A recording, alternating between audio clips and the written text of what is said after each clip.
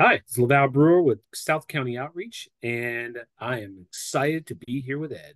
All right, LaVal, I'm excited to have you here too. We've been trying to get this on the calendar for a while, and we had it on, and then probably I got sick and things came up, but uh, we're finally here on a Friday afternoon. It's good to good to communicate with you, and and uh, you know, it's always fun to see you in person, like we did the other day. But I'll take a. Zoom call if that's if that's what I get. So LaVal and I have known each other, known of each other for many, many years, known each other for a short period of time. I think we've passed each yeah. other and events over the years, pre-COVID, post-COVID, if there is such a thing as post-COVID, you know. There is. Post-pandemic anyway. yeah, that yeah. much we know. Um, LaVal joined South County Outreach, and he'll tell us in a moment a little bit more about what that is in June of 2020. So an interesting time to be joining um, a foundation that does what you do. I'm eager to hear more about that. Yeah. He's worked in the nonprofit sector for over 30 years, spent 20 years early in his career with the YMCA. I know you have great things to say about that. And I love, I read an article about you where you said that you think everybody trying to get started in the nonprofit sector should spend some time at the YMCA. So I'd love to dive a little bit deeper into that with you. Uh, sure. And in, in 2023, the year we're, or well, actually, I guess that was last year now, um, named to Orange County's 125 most influential people in Orange County. So that that's pretty exciting, and I would I would agree with what I know about you. So LaVal, it's good to see you. Welcome to the From the Hart podcast, which is presented by the First Bank Center for Family Owned Businesses, where I also am fully employed. So good to see you, my friend. Good to see you also. And uh, I think the last time we were supposed to meet, it wasn't that you got sick. It was that you were doing the thing that's important that we talk about really regularly. You were taking care of family. No, I think I had a grandson that might have been sick. Yes. We were, yeah, there was a, a grandchild yeah. involved there. So, well, he is he is much more important than I ever will be. And, well, uh, any, any, excuse to spend time with the grand grandkids, I'm going to take that excuse. But uh, as as you should. So, well, we're here today. So, uh, I'm going to start where I where I ended on the introduction about being, and not not to embarrass you and talk about the award of being, you know, one of 125 most influential people in Orange County, but let's focus on that word influence when mm. you think of that word influence what, what's the first thing that comes to mind for you? Wherever your mind goes with that word. You know eh, that's a great question. Um, and i've actually semi thought about it but not fully thought about it till now you've you've presented it to me. It's one thing to do good work. And by the way we all should do good work. Sure. you know we're we're actually i'm reading uh, i'm listening to a, a bible study right now that talks about and it's in a section where it's talking about uh, do good work and God calls you to do good work, right? Like it, it, you're called to do this. It's not that God calls you to take away from the work you're doing right now and go somewhere else and do good work. It is do good work where you are. You can obviously go somewhere else and do good work too, yeah. but but it's, it's, that influential piece is not about doing good work. It's it's about influencing people and influencing the cause or the work that you're doing for good right? Because it's really easy to influence people for gain, for um, for for reward, for prestige, for you know whatever it is that we we would indulge ourselves in or bring us you know wealth or fame or whatever it may be. But to influence people or influence others for good, that's a that's a totally different connotation because the for good often is not for you. Right. yeah right for the right. for the general good for the good for the greater good. Right. Yeah. And sometimes when you have to influence for good you may be you may be asking someone to give up something or give or, or step away from something that is beneficial to them but is not good for others. And i take that pretty seriously that there are times when what i what i battle for or i encourage people to do is to be an engagement to help others who are less fortunate than you, who often are not, not much different than you, often not different than you, to be successful. Hmm. So that's where I I use my influence, and I use it pretty regularly. I use it pretty wide. I don't use it just in my office with my team, although I I wield it very I wield it only when necessary.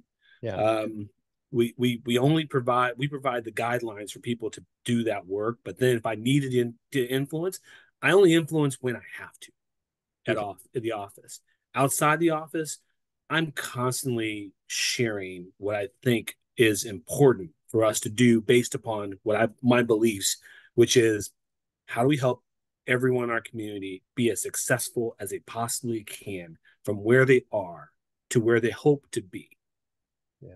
I like that. I, I, as you're talking, I'm thinking about the two different types of influence. There's the intentional influence. You say I only influence in the office or in this situation, but there's also just the unintentional. The you're an influence whether you know it or not. People are watching you, and I'm not talking just about you, LaVal, or you, Ed, but you, the general person who's watching or listening to this conversation. All of us we're influencing people around us all day long, whether we know it or not.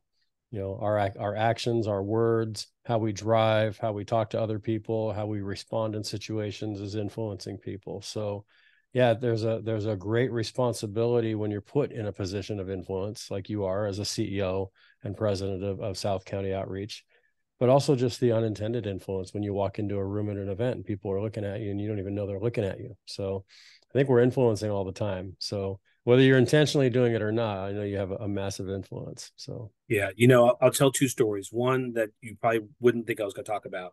Not not that you wouldn't think I think you have right. amazing character and, and occasion, but Charles Antis, when I, yep. we were talking recently, we, we, talk a lot, but we were mm-hmm. talking recently, and he he talked about how one day I was in a room and he was in a room, and it's a large room with a lot of people, and he and he looked at he looked and goes, "Who's that guy?" and it was something about the inter- interactions I was having with people, which for me, when I'm seeing people, I go up, I'm giving them a hug, I'm gonna, and, and, and, and you know that that that's that's fraught lately. But yeah, give people a hug. I, I you know I'm I'm introducing myself. I'm looking people in the eye. I'm I'm talking to people, and he he felt this energy from the engagement of that day. Um, and I'm gonna I'm gonna flip that into this conversation. You asked about the YMCA. I'm gonna flip yeah. this into the conversation. I remember one of my one of my executives, uh, Eric Mann. He's the CEO of uh, YMCA right now in Florida. I can't remember the Florida name, or else I would mention it specifically. He made it very clear to me as a young program director of the YMCA that I am representing the organization constantly. Yeah. There is no time when I'm not representing the organization. And he didn't say that because he was he was rebuking me or counseling me. He was just sharing with me, reminding you that you were always reminding me that yeah. like you you were always yeah when you're in public representing. At the same time, he was also hinting at as a black man in a neighborhood or in a community where there's not always this this uh for for the community a clear picture representation of a black man who is successful and who is doing the right work in the community we often hear these other stories yeah that my responsibility to to to that cause to that to that space is is mine to bear and i'm to do nothing to at least as much as i lose as i can because we all have flaws yeah. to yeah. to to step away from that so I don't try extra hard. I'm, I'm not, so sometimes you so you have to try hard. I'm like, no, I don't try extra hard. I just I'm yeah. just doing what I what I should be doing. But I also am aware that when I slip up or if I slip up, there is sometimes like, oh, there it is. And it's not everybody. There's a very small subset of people. So it's a hard burden to bear. What uh boy, there's a lot of places I could go now just from you talking about that. Sorry, buddy. A lot, uh, a lot of stories come to mind and experiences my wife and I a few years ago, we were doing a partnership with another. Uh, when I worked at Cal State Fullerton, we had a, a, bank, City National Bank, that was our title sponsor for our Family Business Hall of Fame event we did. And the executives came to that first event in 2016, and something that we did there they loved apparently, and they asked us to come in and do some events for them uh, at the bank beyond family business. And it's like I didn't really know what they meant until I went and we sat down with them up in LA and we were sitting with their senior executive team, their VP of Diversity, Equity, and Inclusion, Karen Clark, uh, and we're all just kind of sitting around a room trying to figure out what this is going to look like. And I don't really remember who came up with the idea, but the end result of the meeting was our little foundation that my wife and I started, the Heart Leadership Center. We were going to be running a Black Business Leader Hall of Fame for City National Bank in LA and it, it, I was excited about it. It's like, okay, well, what am I doing running this event? You might say, obviously, but I, I leading up to you know, what I'm leading up to is at the first of it. We did it a few times, but the first time we did it, Mellody Hobson, who is the um, chairman of Estee Lauder on the board for Starbucks, married to George Lucas, famous, you know, movie producer and so forth. Black woman, beautiful black woman. She gets up and she's speaking to this audience of about 400 people. Most are African American. Um, mm-hmm. And she talks a lot about being a victim and she talks a lot about mm-hmm. giving and taking. And the, and the example she said is she said, hold up your iPhone or your phone. Look at the last 10 people that called you. Did you answer those calls or did you not answer those calls? And if you didn't, why not? And mm. is the why not because they were calling you because they wanted something or they were asking something or they were kind of a suck rather than a than a a, a taker rather than a giver i think might have been her mm-hmm, mm-hmm, mm-hmm. Um, and she talked about that victimness and she talked about you know just uh, i'm i'm i'm talking myself into a hole here a little bit and i'm going to pull myself back out but when you mentioned being a black man and the stereotypes and you know things of that nature how do you overcome that i i'm a 59 year old white male who's lived in a very privileged neighborhood my entire life. I've had privilege my entire life. I've never felt oppressed or judged or, you know, anyone looked at me because of my skin color or my background for even a second of my life with any kind of judgment. How have you f- overcome? You're a great dad, you're a great father, you're a great CEO, you're a man of mm-hmm. influence, obviously, as we've talked about. Talk about if that's even been a challenge for you, and if so, how you've overcome it. I'm going to be completely, you know, I'm be completely honest.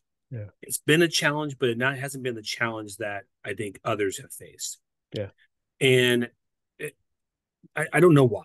I'm not. I'm not gonna. There's, there's no. There's no formula for for yeah. for for this. Um, and, and I'm sure there's a formula, right? But there's in my mind, there's no formula. I, I can tell you that here's here's what I believe. Um, has been set on me in my heart in that space to be as authentic as authentic as I possibly can. Yeah. As grounded as I possibly can can. And I've learned over time to let things just roll off my back. Yeah. Right. So, you know, God says don't worry, right? So if God says don't worry, he also says don't carry those burdens. Right. Right. So there are times when you have things that go wrong in your life and, and as a as a as a person of color. There are things that go wrong in your life that are out of your control that someone else controls. And your response to that, which is the word responsibility, mm-hmm. bro- broken down. Right. Your ability to respond. Right. Ability to respond. It, it, can either it can diminish the the negative effects or it can heighten the negative effects. Mm-hmm. Right. So first of all, try to diminish negative effects. One of the ways you have to do that, and, and one of the ways you live your life is I'm a member of the human being race just like you are. Yeah. First. Two, we all have flaws. Yeah. We all got flaws. I got flaws. I'm sure you have flaws. Absolutely. Others have flaws. Yep. So recognize that those with flaws will make flawed decisions and they will do things. And God calls us to also forgive. Yeah. Right. So forgiving sometimes isn't forgiving. Sometimes forgiving is forgetting. Yeah. Right. Yep. Forgetting. Doesn't mean you shouldn't fight for yourself and advocate for yourself. Right. And I'll tell you that story later, Ed. Yeah. That's not for this time. um,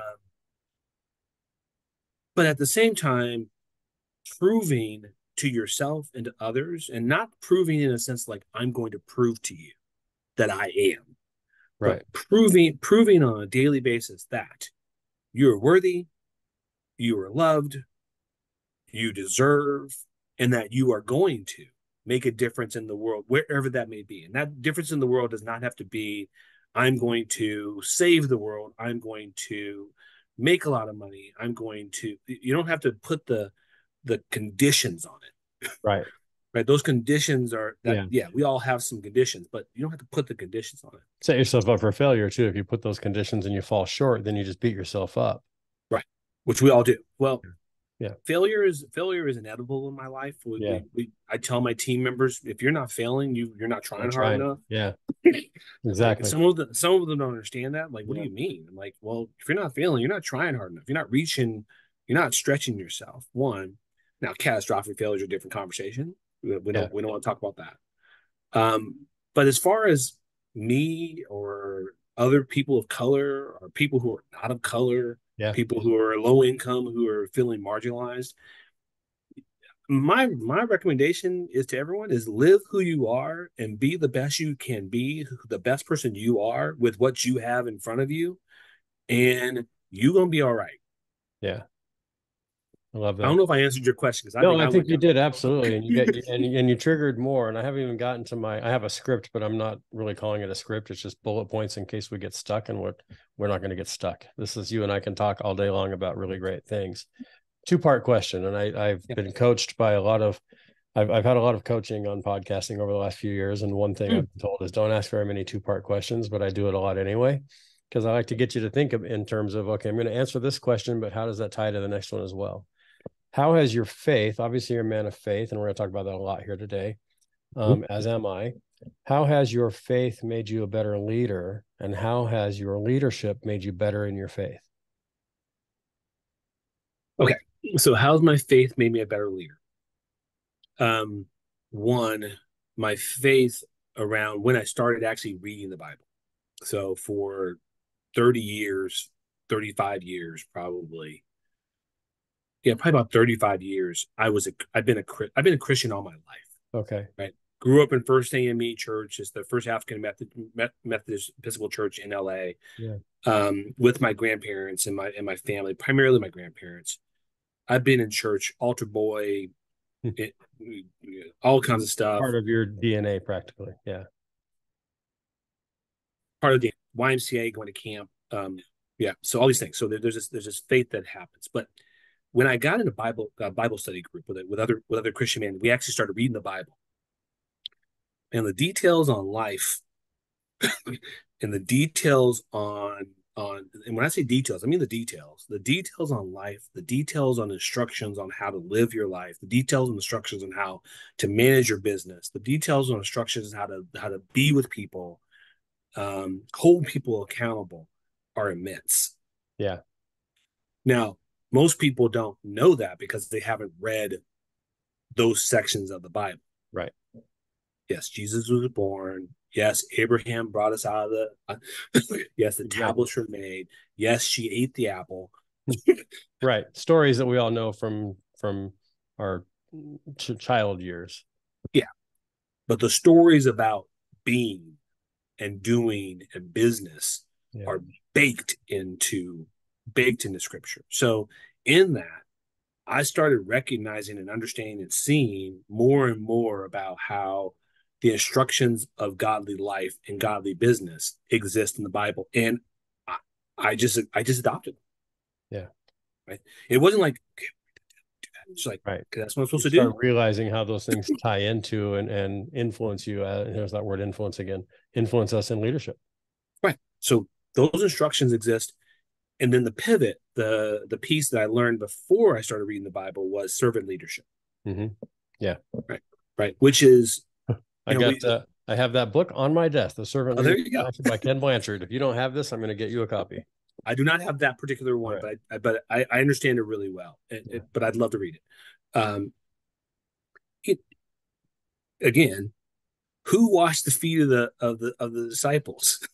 Right. And exactly. and, and and and when we read that part of the bible or, or hear that part of the bible we go oh that's really nice of him it's like no no no no no no no no yeah. no no these these people were walking in the desert doing the hard work and their feet hurt mm-hmm. exactly their, their feet were tired if there was yeah. anything that would make them stop other than the pain of of, of healing people and talking to people it, it was literally the pain of their feet yeah. They didn't have the Air Jordans like we have today, and they're not walking a couple of miles like we are today. They're walking dozens and dozens every day in sandals. In sandals on dirt and yeah. gravel and and all these things. Well, so what does that mean? Right? What does that mean to wash the feet of your of your team? Which no one thinks about that, right? Right. When we do, we do, right? We do, but we don't think about it of, of like, I'm washing your feet, not because I need to wash your feet because I need to wash your feet to show you that I love you. I need to wash your feet because you know what? I haven't walked that far. Mm-hmm. I have better yeah. shoes. Sometimes I have better shoes on. Yep. Sometimes I have more privilege, which allows me to even not have to walk at all. And my reserve of energy, my ability to help you be successful is at that point in time much more important than anything else there is because you are doing the good work right? So if you're doing the good work and I'm just the leader in front, staying up, getting all the praise and getting able to tell the story, but I don't recognize that the the the the feet of my team members who are struggling and trying to battle through are weary, and I ignore that. Now, this is the simple simplified version of that mm-hmm. conversation, mm-hmm. but and I ignore that. Yeah, and I'm actually ignoring who produces. I'm ignoring who makes it happen. I'm ignoring the the ones that I count on to be as successful as they possibly can be. And that is biblical. Yeah. It it it, it is anchored in it. because yep. when you get to the point to where whether you're a CEO of a small nonprofit and you're and you're doing everything and you should have your feet washed, or you're the CEO of one of the largest nonprofits in the country and you don't even know that people exist. Right. Being able to balance between that and actually have servant leadership and be able to like get into the smallness of people is what makes you successful. Can you give an example? I wrote down the words washing your people's feet just now. Can you give an example of the figurative way that a leader can wash his or her people's feet in the in, in the day-to-day workplace? Today, right now, today in this in this neighborhood, in this in this this environment, one of the ways you can wash someone's feet, and this is anybody's feet, yeah, is to stop, look at them, talk to them, and hear them and know them. right? It's it's simple, and I don't do it well. I, I don't do it very well. I, I, I do it to a level that I possibly can. And and I'm, I'm not saying if you have a if you have 400 employees, you're not gonna wash everybody's feet. Yeah, but you but you better be washing the people that you that directly report to sure. you. You better be having them wash the feet of the people who report to them. yeah. Right. So, in, in for for me, it is see people, be recognize when people are on the edge because there are telltale signs when people are on the edge. Yeah, when they're tired, they're burnt out, they're stressed out, they have something going on, they cough, like just a just a regular cough. Like you've coughed three times. Are you sick? Yeah. Yeah, I'm, I'm yeah. feeling a little sick. Okay, you should go home. Right. Well, I have too much to do. I hear you. I understand that you have mm-hmm. too much to do. But if you keep coughing, you're, going to be out for a week. Why don't you go just at rest tonight and we'll see you again yes. tomorrow? Yeah, yeah, go home. I'll give you an example. Uh, we have a new employee who started uh, a couple weeks ago, and she it was on it was Monday of this was this week, yeah, this week Monday. She was working, and on Tuesday I saw her, and she had a crick in her neck. She could barely move. I mean, like, yeah, I'm like, oh, okay, right. And at the end of the day, like everyone's like, oh, you take care of yourself, get some rest. And I, and I looked at her and I go, you know, you could take the day off tomorrow. You have sick, you could take sick time. And she said, in passing, she was walking out and she's yeah. like, I go, you know, you have sick time. You could take it. She goes, no, I only get sick time after my first 90 days. I go, not here, you don't. Yeah. You've got it now. Yeah. You got it now. And she looked at me, she goes, you could see the look on her face like, oh, hmm. I could take tomorrow off. I'm like, yeah. And yeah. if you need to, you should. So you can right. take care of yourself. And you can see this this this look of one shock and, and, and amazement that the you CEO says. Yeah. I saw her. Yeah. That I could tell her that she needs to take a time off. And then I went to her supervisor and said, Hey, reinforce tomorrow that she call her and say, if you're not feeling well tomorrow, you can stay home. Yeah. Right. That's what that's that that's just seeing seeing yeah. seeing them those are some examples of where no i like that a lot because so many people you know I, it's funny because you know you mentioned charles antis earlier several years ago he gave me the five minute journal and i've been writing in that i, I miss days not perfect but I, I strive to do it most days but one of the things that I've always strived to do, I used to work at USC and I take the train into work um, mm. many days out of the week, not every day, but there were days where I would make a conscious decision. Okay, today I'm going to smile at three people on the train. And it, number one, it makes me kind of sad to think that I had to make that a conscious plan. But there are days when I get my nose in a book and I'm reading, or I'm talking to the one person next to me, or I'm closing my eyes and taking a nap. But if I tell myself before I get on the train, I'm going to smile at three people, there are story after there's story after story after story of of conversations that I've had with people because I made that decision to look at someone in the eyes and smile at them not even say anything. It could be the woman or the guy across the aisle from me in the train and I just look and we just acknowledge. People want to be acknowledged. And you don't have to, you know, literally or figuratively even wash their feet just to acknowledge that they exist and and and how I felt about myself and about my God in in those moments when I would look at someone and smile at them. And I, I noticed it yesterday. I made that decision yesterday when I saw you at the Passkeys breakfast. Mm-hmm. I had that thought when I walked in. I'm gonna make eye contact with and have a conversation with someone that I don't know today. Seems easy to do in a room full of a couple hundred people. And you and I, we walk up and hug people and we go to these networking things every day, multiple times a day in our jobs. But when I approached it yesterday with, I'm going to do this, I walked in the door and the first person I saw was somebody I've never, you know, they recognized my name. I recognized their name from the name tags, but we never had a conversation. And we shook hands, and it's almost as if he had done the same thing. And uh, I'm going to smile at a stranger basically because we looked at each other, we smiled, and then probably four times over the course of that 90 minutes we were together, we passed each other and gave each other a hug or exchanged business cards. And we've already emailed today.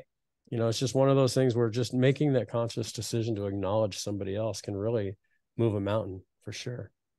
So you, you mentioned the YMCA. Um, I used to work at the YMCA, um, actually with Tim Strow. So yeah. Tim and I, Tim Strow and I worked together at the YMCA. He was the exec director, yeah. and I was the associate executive. And I, I tell this story pretty regularly, so I'm telling it because I tell it pretty regularly.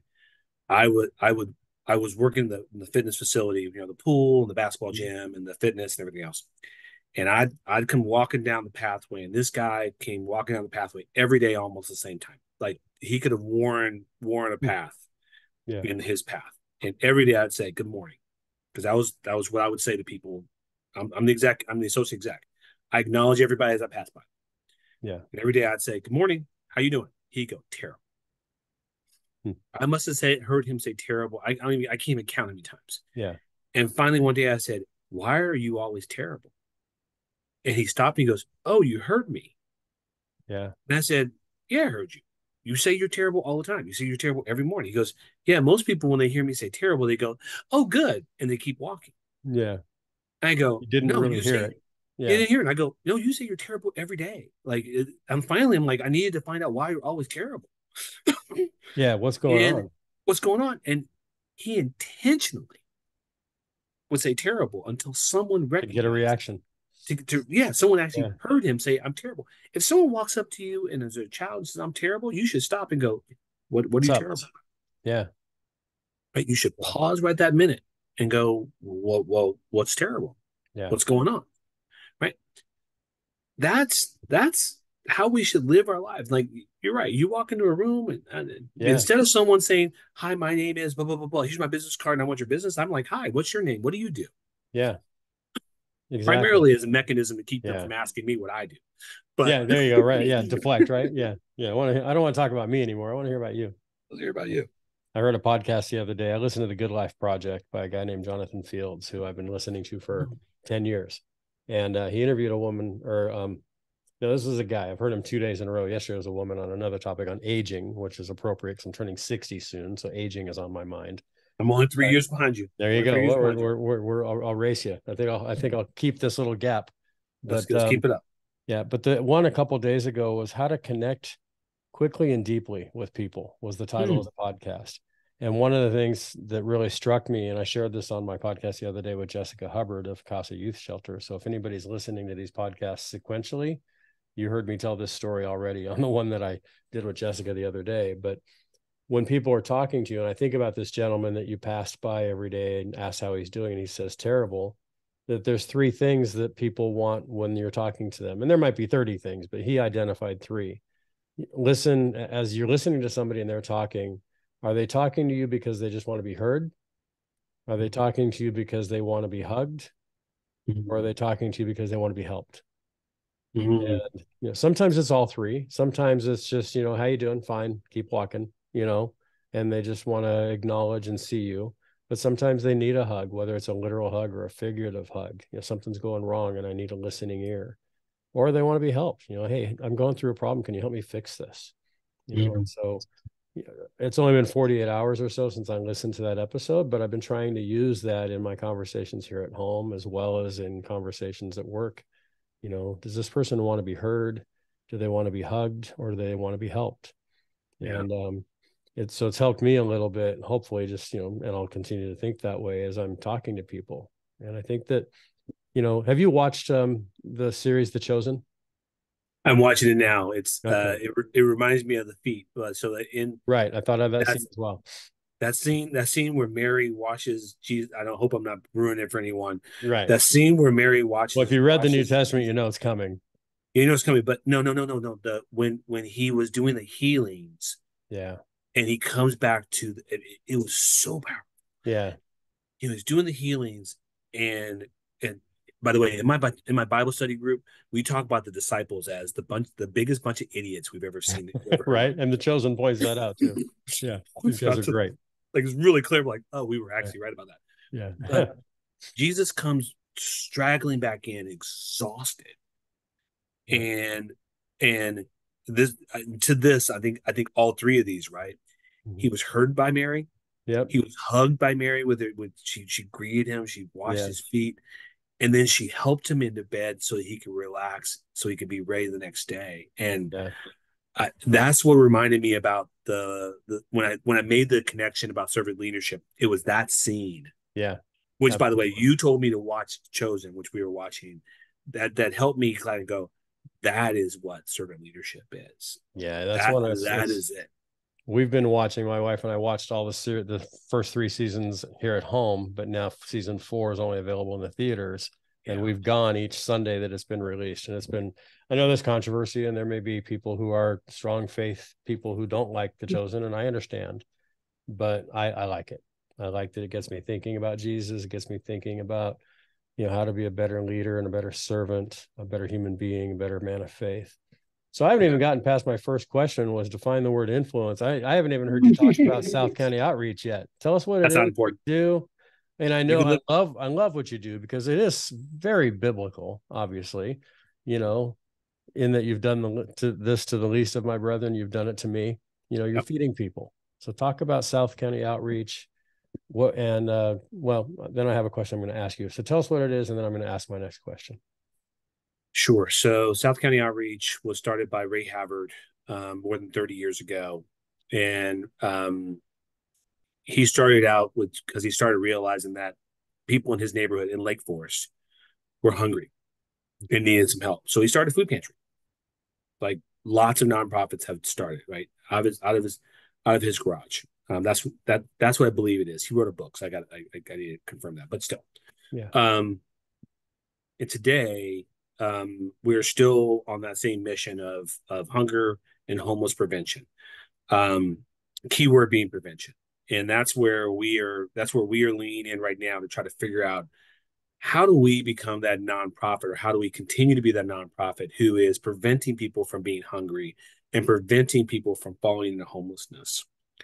And so we're on a mission right this minute to ensure that people in our neighborhoods right now, South County, but we we plan on expanding. People in our, in our neighborhood understand that their neighbor is the one who's coming to get the services, hmm. or that they are the neighbor who needs the services, but right. don't recognize that those services are available. And why do I say that? Family of four making under a hundred thousand dollars is in poverty. Yeah.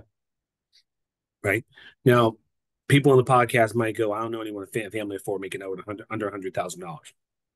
You do. You do. Yeah, you do. yeah, you do. Now the problem is that it's South County. It's right. it's Orange County. It's it's California, and that we don't walk around with a moniker saying I make less than. Right. Right.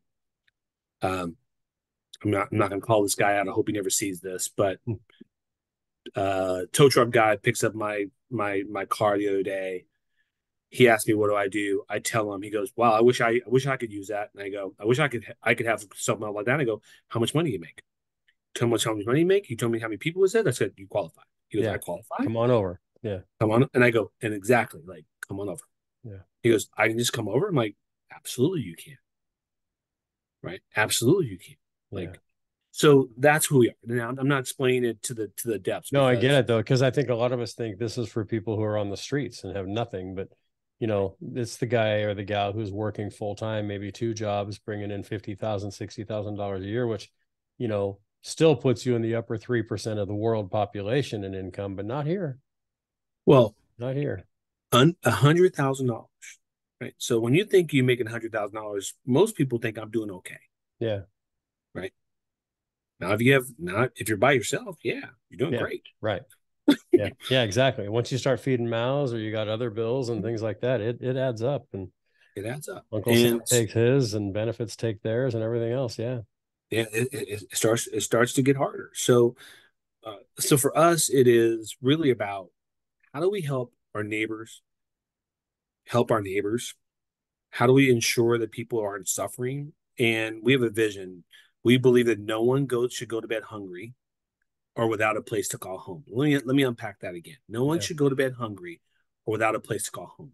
Now here's the thing. That's not our mission statement, that's our vision. Right.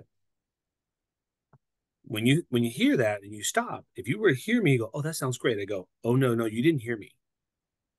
Because most people would stop and go, "Excuse me." Mm-hmm. You should stop and say, "Excuse me." no one should go to bed hungry. Right. Or well, or a place to call home. Now, politics aside, policy, politics, right. Uh, forget all that stuff. Do you do you believe that no one should go to bed hungry? Do you believe that no one should go to bed without a roof over their heads? And the answer should always be yes. Absolutely. I believe that. How is a different conversation. Right. step one, agree with this. Because if you don't, there is no step two. There is no step two. Yeah. I know we talk about the Bible a lot. Yeah. But so Jesus is standing there, he's got 5,000 people. And what is he worried about? Hungry. He's worried about their soul. Right? Yeah, their soul. Really, then he realizes you guys are getting hungry. You guys are getting hungry. Yeah. Right. That's not my responsibility yeah. to feed you. You should have you should have brought some lunch with you. Right. Yeah. Yeah. Where's your where's your um Scooby Doo, you know, lunchbox? Yeah, lunch bell. Thermos. Right? Yeah. Second, I don't remember the scripture off the top of my head, but knock at the door in the middle of the night. Um, I have no place to sleep, or I need some bread. Do you answer the door to for your neighbor, or do you keep the door locked for safety? Hmm. Now, I'm not suggesting that anyone in South County should open the door to someone they don't know in the middle of the night. Right. Or leave your door unlocked. Yeah. Or leave your door unlocked. But what I am saying is that if your neighbor knocks on your door, or you don't knock on your neighbor's door when you recognize that they are hungry or there's something going wrong, you're not a neighbor. Yeah. And we choose these neighborhoods because we want great neighbors. We want great neighbors. We want great neighborhoods. We want great schools. And then we're not great neighbors. Yeah. Because yeah. all we care about is ourselves. Right? Mm, I love that. Mm-mm. That's not it. yeah. Like they say, if you want to have a friend, be a friend. You want to have great neighbors, be a great neighbor. A great neighbor. So in that, that's what we do. Uh, for, for us, it is we are we are a place for neighbors to be able to have dignity and respect That's as it relates. Yeah, did think. Yeah, Disney dignity and respect as it relates to their their food consumption. In other words, agency over what they choose. And there's lots of nonprofits who do that. We do it really well. Um, and then how do we help those who need to stay in their homes, stay in their homes through rental assistance, utility assistance, and case management. In other words, talking through people how they how do they manage their money or how do they make sure they stay housed? Those are the two key concepts that we have. Yeah. so all that being said what do you love about your job? Um, do you love your job? Because that's obvious. I, I love i love every door that god has brought that open has opened for me even even the doors he opened for me, I was like, I shouldn't have done that that was a that was a path through. That was a pass through from one door to another. Yeah. Um. You know, I, I'm gonna be happy wherever I'm wherever I'm placed. Yeah. I'm happy wherever I play I'm placed, and I'm only placed where God wants me to go. Yeah. What do you? This is a hard question to ask given the premise of where we are in this conversation, mm-hmm. but I'm going to ask it anyway. What are you good at? what do you when you lay down at night and you think about man i did pretty good there what what uh, like with me that if anybody asks me that question i'm good with people You know, I, I I don't have much in the way of skill sets. I can't I can't build a cabinet. I can't, you know, fix my car. I can a lot of those things that my wife can do. She's the handy person in this in this marriage. She can do all that stuff pretty well. I can't. But when it comes down to making relationships and connecting people, I think that's a strength. What what's what's LaVal? What do you what do you think you're good at? I, I think I'm I'm pretty good at that. I'm pretty good at that as as one. But I, I I what I'm really what I'm really good at is I can see the future for the endeavor. Hmm. And I can quickly, for the most part, not fully quickly, but I can quickly determine so where's it going? Yeah. And how do we and and and not how do we get there because that changes. Like right. you're talking about talking about if you're talking about 10 years, 20 years of of, yeah. of, of work, right. Or should we even go there? And that's another thing that with that skill set, you probably don't spin your wheels doing a lot of things and look back and go, oh, that was kind of a waste of time. Yeah, we we jettison things that aren't. I jettison things that aren't gonna that, that aren't getting us where we want to go quickly. Yeah. Um, I'll give you a quick question, quick quick example. Um, when I got to South County Outreach in June, in September, I'm talking to our thrift store manager about the the thrift store, and I'm talking to her. I'm like, "Don't you think you need a bigger place?" And she goes, Well, yeah, we've always wanted a bigger place. We need a bigger place. I go, Okay, great, let's do that. And she said, Well, we just put flooring in like back in January, new flooring. And I was like, Okay. and she goes, Well, if we move, then, you know, that flooring. I looked at her and I went, I went, Do you want a bigger place or not? Right. yeah. Someone else will have the great flooring when they come in. That's all right. Yeah, we'll figure out the flooring. Like what yeah. what but so we so the jettison is don't let that hang you up. The question is, right. is that what we're supposed to do? We went from th- we went from being excited about a seven hundred dollar day hmm. to being disappointed with a twelve hundred dollar day. Yeah. Nice. Right. right. Yep. So you have to be able to see where we're going. And you're right, you have to be able to see like, no, that's not gonna work. Don't do that. I'm, I'm good at I'm good at scaling. Also, really good at taking what is the problem and and and and understanding the actual problem, and then saying what is the potential solution to that problem. Not what's the not what's the incremental gain or what's the right. what's you know we're gonna go from this to this. It's like okay, this is this is gonna be. I hope this isn't controversial, but when you take the um, Marriage Equality Act, mm-hmm. when they got to that end zone, that when they were done, people were like, "Oh my God, you're out of business," and we're like, "They're like, no, no, we've created a skill set that is yeah. available to solve other problems." Right now, I don't think we're going to solve hunger and homelessness anytime soon, but if we were, and if we did, woohoo, there right. you go, right? Exactly. Now we're talking. Now we're talking. And yeah. everyone in the system is now an expert at solving a problem. You have a job. Yeah. Don't be afraid of solving the problem. No one's gonna be mad at you for solving cancer no one's gonna be mad at you for solving homelessness. Right. No one's gonna be mad if you if we put every every nonprofit who is working on hunger and homelessness out of business. I don't think there's anyone who's gonna be like, why do we do that? right. Right. Yeah. Go after it. Like look and, and and not solve the problem with what we think is the obvious solution. Let's really look at what are the things that we need to do to solve this problem. Yeah. And by the way, if it's not solvable, but it's fixable, look at that too. Right? Yeah.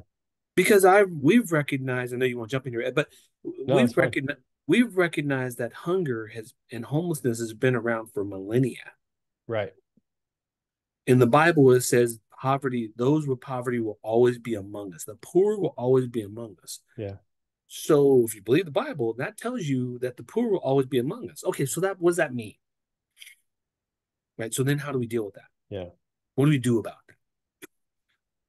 Well, and then also to your point, we might be working towards and making steps towards solving problem X. And maybe we get close to problem X and there isn't a solution, but we can take what we've learned from these steps and solve problem Y.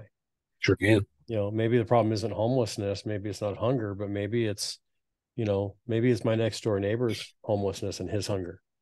Maybe I can take those steps and help him with that. And if I help the one, you know, then maybe he can take that and then he can help the one. So I think what happens is we oftentimes think too big. It's good to think big. Obviously, we want to have big, hairy, audacious goals and be thinking about the big solutions. But sometimes it's that first step. It's that one person. It's that starfish that we throw back in the ocean. Mm. Save, save that one. I might not be able to save the thousand on the beach right now, but I just saved that one. And uh, you know, we used to we used to tell that starfish story almost every summer at camp, YMCA camp. Yeah. To all of our kids. We would tell that starfish story every time.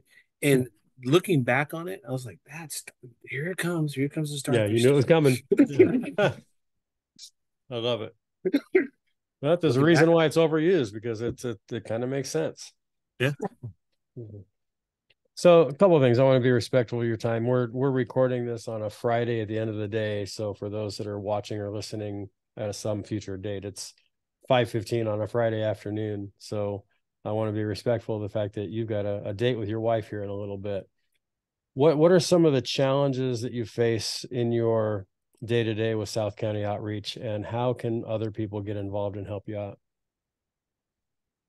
wow that's a great question um, we are an abundance organization we we live with an abundance mindset um, uh, and an abundance um, uh, language base. So when you say how can people help me, that's that's part of that abundance conversation, but it it it it counts it makes us kind of go like this, like. Mm-hmm. Uh, but I'm, I'm I I do I can answer that question because we've we've we've seen that where abundance exists, that um others come, that the abundance causes the ability for that abundance to be be consumed. I'm going to give you a quick example.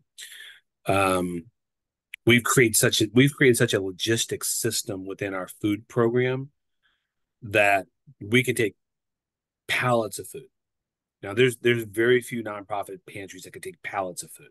Yeah, because you got to get it, you got to store it, you got to produce it, you got to and you got to push it out, right? Which right. pushing out is normally not the hard part, but yeah, all those other pieces. Um, we got four pallets of onions hmm. today.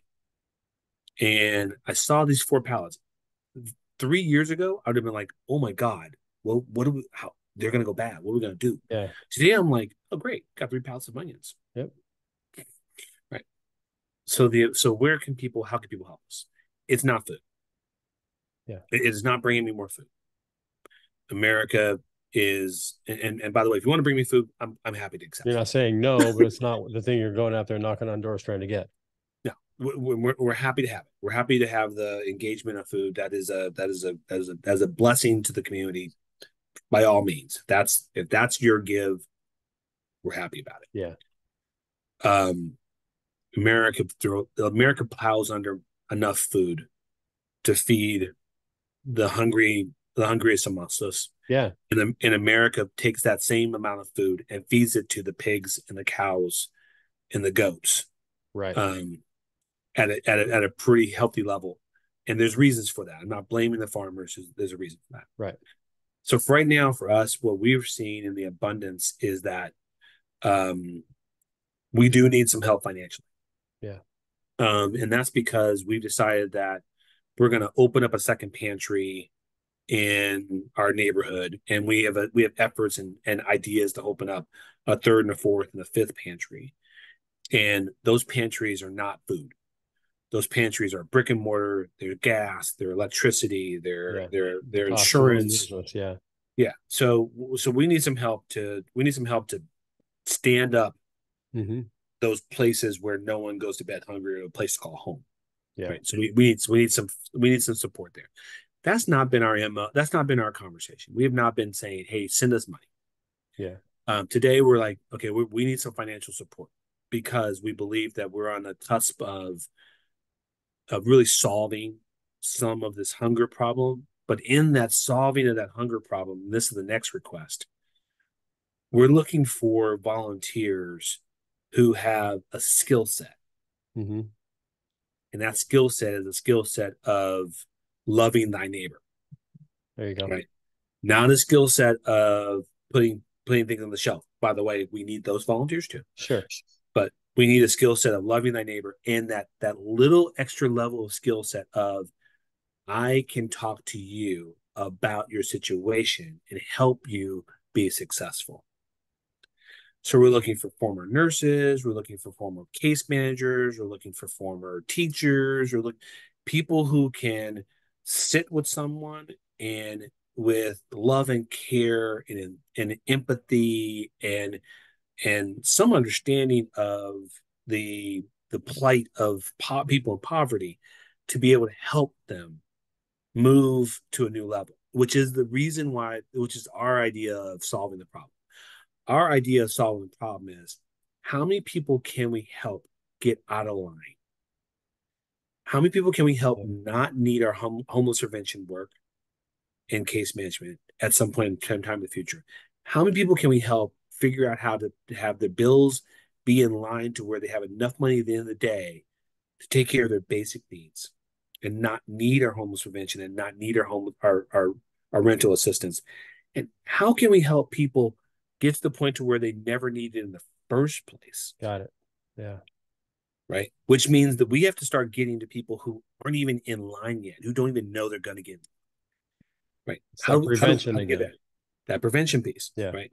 Which for us we think is aged out foster youth, transitional age youth, um, young college students who are just getting started out, who are not who are not necessarily in a high growth field. Um, how, how do we help them not get in line in the first place? Yeah. Do you ever hear so, the poem, The Ambulance Down in the Valley? No, I've not. So I'll send it to you. And um, I'm, I can't quote the poem, but it's one I've known for 40 years. And it's, uh, there's this town and this um, cliff at the end of town, and people are constantly falling off the cliff and dying or getting, you know, hurt, you know, badly injured at the bottom of the cliff when they fall. And so, you know, the politicians in the town decide, you know, what we need to do is we need to put an ambulance, ambulance in the bottom of the valley. So when they fall, we can rush them to the hospital. And then an engineer comes along and says, well, what if we put a fence at the top of the cliff so people won't fall?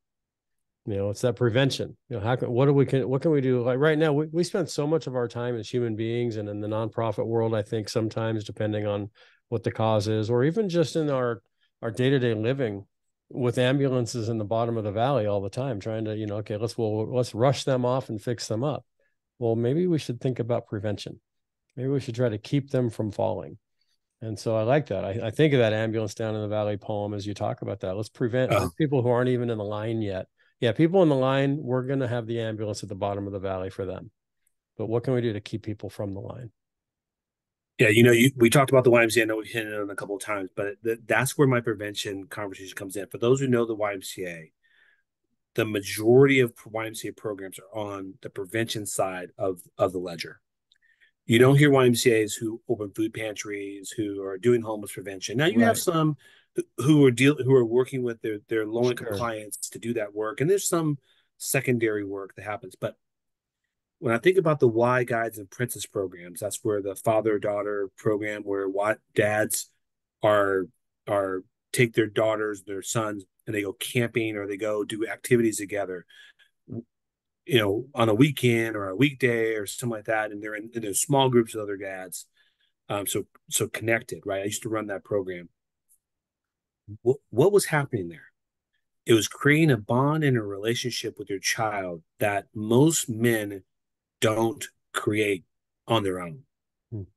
Because the caregiving part is, for the most part, seen as a female thing. Right. Right. Now there's plenty of dads who who are sure. not that. Right? We're talking the stereotype. Stereotype. But for a good number of dads, yeah.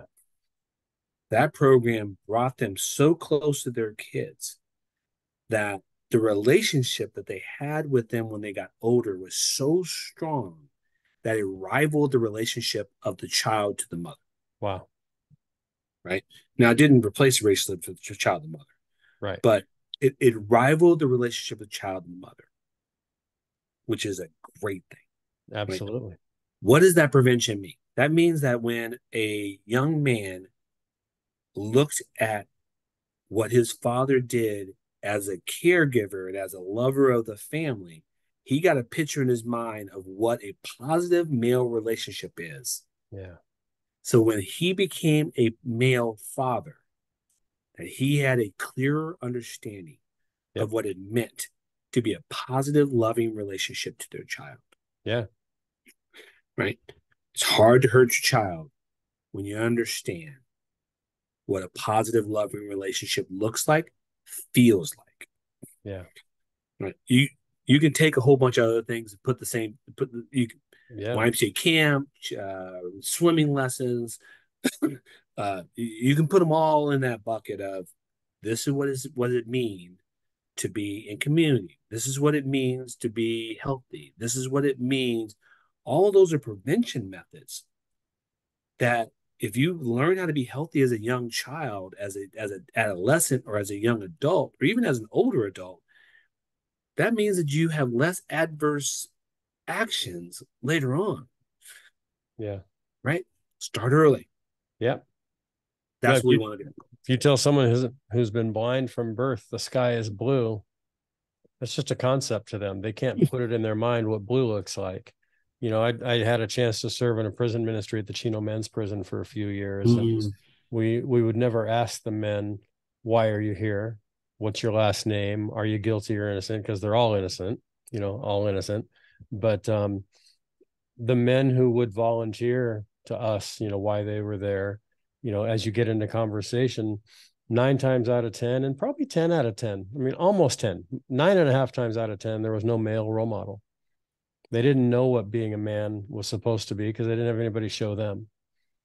And so that's that preventative measure. And that's something that, um, you know, as fathers, you and I, you know, and grandpas, we, you know, I got grandkids you're getting there mm-hmm. you know but as as parents we we need to i think the number one thing we can do as parents especially as dads is emulate the behavior that we want our children to to see and yeah, not just our kids but other kids and other you know other you know you've going back to that word that we started the conversation on today of influence mm-hmm. that that unintentional influence there are people watching us all the time there's always somebody that wants to catch us doing something wrong and then point it out and shout it from the mountaintop you know, look what this Christian man did, you know.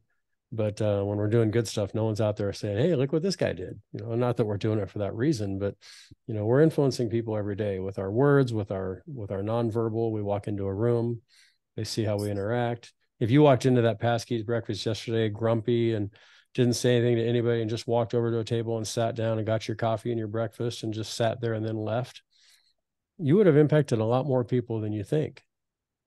Oh, People are like, "Are you?" I, I can see. Dude, what's up saying, with LaVal? Yeah, yeah. Are you okay? Yeah, and you didn't say anything to anybody. You didn't. You didn't damage anybody's day, but you didn't make anybody's day either. So yeah, there's those unintentional consequences of, of influence that we don't even pay attention to. How do people reach you? They've heard the podcast today. They like what you're talking about. They'd like to get involved. What's the best way to reach you and to and to and begin that process? So for if you, if you want to help South County Outreach be more successful, um, uh, right now it is info at sco s is a sat cat s and sam cat o is an Oscar dash oc.org.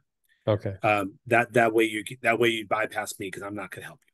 yeah, there you go. It'll get, it'll get right to the people that need to do something, right? Let's get you. Let's get you where you need to be. Come to you. Um, it might sit for a while. Yeah, or volunteer at um, yeah. sco-oc if you if you want to connect with me, if you want to talk to me, if you want to you know, want to want to be engaged, uh, uh, the best way to do is it is LinkedIn. So yeah. look me up on LinkedIn.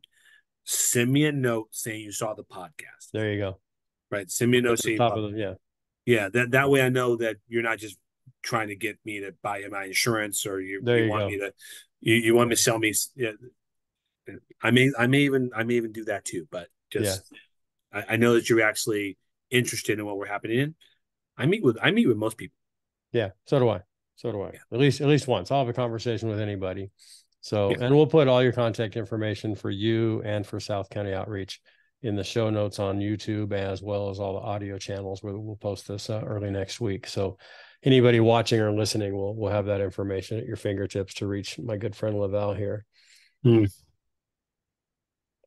a lot of things we can still talk about. Is there anything I I, I hate asking these? Well, let's just do it. I mean, we don't have to do it now, but let's just do. Let's yeah, just we'll do just part, we'll do a part two.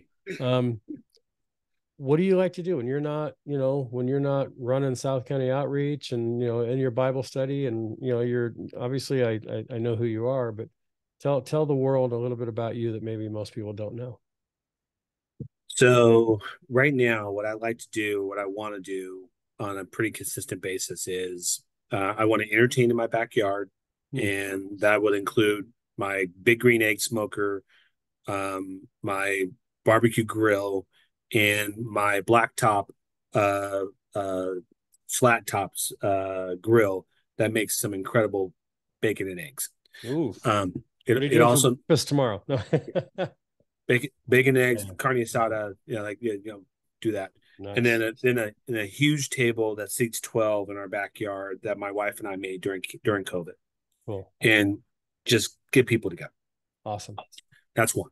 Two is uh, I love tinkering with building something new out of something old. Hmm. Um, a fence post is a is a is a welcome sign. A, a piece of metal that looks like it's it should be thrown away is a is a planter. So hmm. taking that and creating something new out of it um, whenever I possibly can. Um, and then finally, it is golfing with my friends who put up with my terrible golf game. Um, right yeah, and and and now I'm I'm I'm, I'm endeavored to play pickleball with my wife, um, who wants to play pickleball more often. So figuring out how to become a better pickleball player. Nice. Wow. You you uh you hit on a lot of the things. I mean, I one I, I heard a lot of things that I have in common with you there, and some things that I don't at all. And we'll leave that for another conversation. But one of the things that I heard the most is you see potential in things. You know, the old fence post, mm-hmm. the piece of metal, and what it can become. I see that with you with people as well.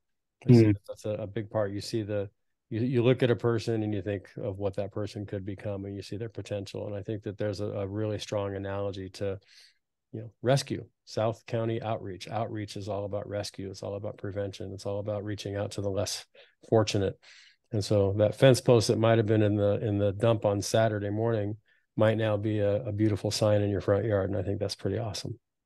Well, well, and you have a you have a beautiful gift of seeing the the, the greatness in others. So I uh, I welcome I thank you so much for seeing the greatness in other people, for your ability to to amplify the voices of people who you believe are doing good work and and and not just your friends but people you meet. Your ability to attract those who are just uh, glowing members of the society who are givers and just as a as a baseline of the triangle your love of god and your faith in the world and your faith um, in what jesus and god has done for us is is more than apparent to me well i thank you for that appreciate that and that's um we we've been given a lot you and i and uh you know it, it's uh it's incumbent on those of us who've received to turn around and give and mm. uh, you know, I was raised by good parents who taught me the value of service. I've married to a woman who has the biggest servant heart of anybody I've ever known. And I'm um, just surrounded by good people. Been very blessed I'm surrounded by good people. So I'm going to finish with one last question before you go throw that coat on and take your wife to dinner. It's a question I ask all my guests. So you are guest number 95 on the From the Hart podcast. So I've asked this a few times. LaVal Brewer, and you've already answered this question in the last hour, but I'm going to ask it one more time What's in your heart? Um, my what's in my heart is to make sure that everyone I come into contact with has what they need to be the best they could possibly be. And that and because of that, I will do whatever I can do to help them achieve that that goal, that whoever they best could be. Whether they're my children, they're my my family members or someone I just passed by who needs something to help them be the best they could be right then there, right then and there.